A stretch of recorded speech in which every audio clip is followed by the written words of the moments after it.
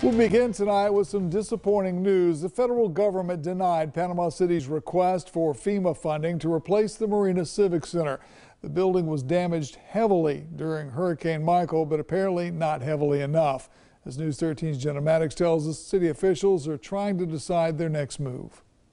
For more than three years, Panama City officials have argued Hurricane Michael damaged the Civic Center beyond repair. They'd hoped the Federal Emergency Management Agency would pay to replace the entire facility. Tuesday, they learned the outcome of the battle. Through our demand for arbitration that the city did not prevail and did not win our argument with FEMA with regard to arbitration. This is discouraging news uh, because clearly the city of Panama City is struggling to get back up on its feet. The U.S. Civilian Board of Contract Appeals conducted the arbitration hearing in April. Three judges presided, two of them favored FEMA. It all came down to the HVAC system of the Civic Center.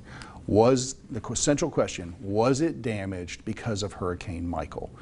We contend that it was. The two judges said we didn't prevail in showing definitively that it was damaged because of Hurricane Michael. The city presented engineering inspections and results of a test recreating the Category 5 hurricane. And there was this video taken by an Orlando reporter who sheltered in the Civic Center during the storm.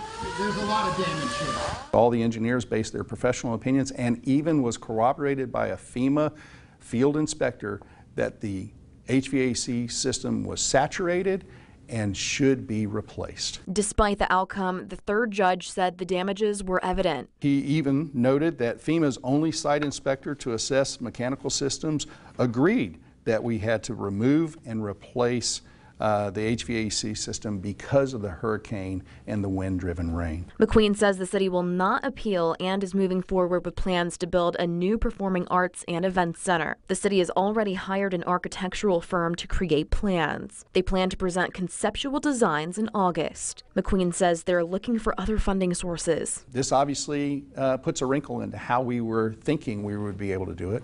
But we're going to be able to get there. We're going to have to work harder. We're going to have to find other ways of funding uh, to be able to support the effort that we have, which is to rebuild and build back a performing arts and events center that meets the needs of the community. In Panama City, Jenna Maddox, News 13, Panhandle Strong.